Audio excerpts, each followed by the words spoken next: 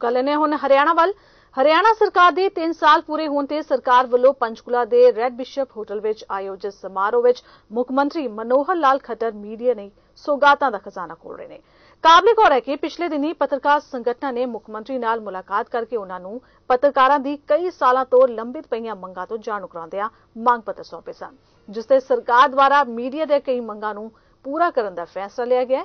ਜਿਸ ਨੂੰ ਮੁੱਖ ਮੰਤਰੀ ਨੇ ਸਰਕਾਰ ਦੇ 3 ਸਾਲ ਪੂਰੇ ਹੋਣ ਤੇ ਲਾਗੂ ਕਰਨ ਦਾ ਫੈਸਲਾ ਲਿਆ ਹੈ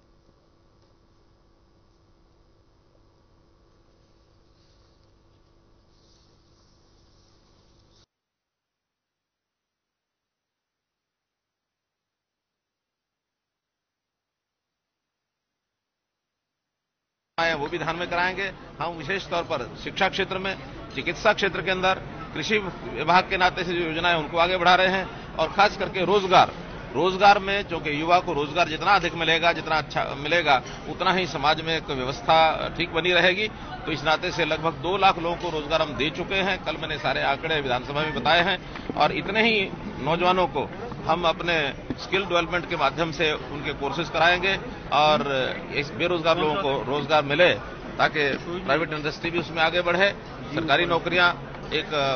पारदर्शिता से जो भर्ती हो रही है, उसका भी सर्वदूर बड़ा स्वागत है। पुलिस भर्तियाँ हुई हैं, अब क्लर्कों की भर्तियाँ होंगी, अध्यापकों की भर्तियाँ, और अन्य भर्तियाँ भी सब अब पारदर्शिता के तरीके से आगे बढ़ रही हैं, उसमें हमको संतोष है। और भी जो भर्तियाँ हमको करनी होंगी, वो अब जैसे जैसे रिक्वेशन आएगी, वैसे